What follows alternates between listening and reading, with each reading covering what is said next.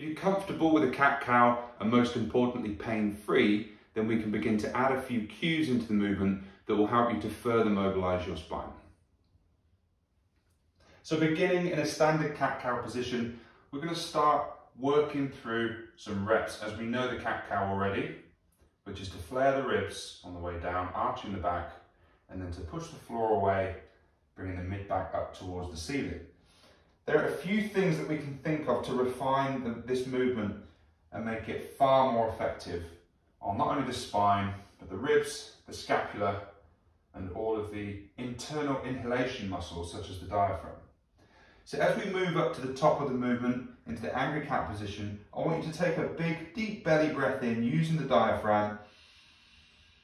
It might feel a bit restricted, that's fine. And then when you need to exhale, we're going to start to breathe out as we move down. When you get to the bottom of the movement, I want you to fully exhale, get every last drop of air out of the lungs, wait for a moment until you need to inhale again, and when you do, you can begin your ascent back up to the angry cat position. So we're going to keep that pace of breathing. Allow your breathing to dictate your tempo, so don't rush it. Go with your breath. Some additional cues that we can add to that while we work through the movement. Number one, don't shrug your shoulders. This is a common mistake when you come up to the top and also down to the bottom position. There's a tendency to shrug the shoulders. So we need to resist that. Think about tucking your shoulder blades into your back pockets, keeping the shoulders low. And if you're not sure how to do that, you can always shrug to give you somewhere to go from and then bring the shoulders in the opposite direction. From there, we're going to begin to think about the shoulder blades. So at the bottom position, I want you to squeeze the shoulder blades together. So keep the cue in mind of not shrugging the shoulders. Big hard squeeze. You'll feel the mid-back come into the movement now as that starts to mobilize. And as we come up into the angry cat position, we're going to push the shoulder blades apart. This is the most common place to begin to shrug the shoulders.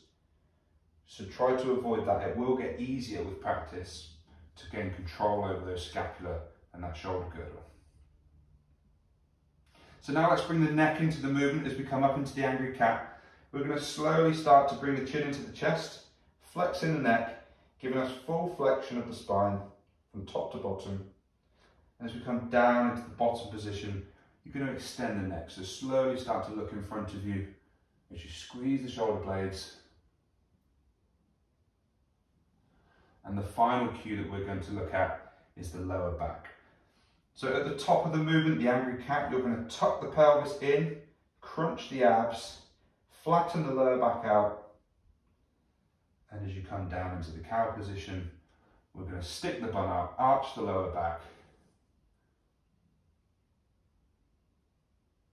And what we're trying to do here is to bring all of those cues together, including the breathing, to give us a very well-rounded and effective mobilization of the spine, the scapula, the ribs, everything that interacts with the spine, even as far down as the pelvis. We're going to work through this with 10 repetitions in each position.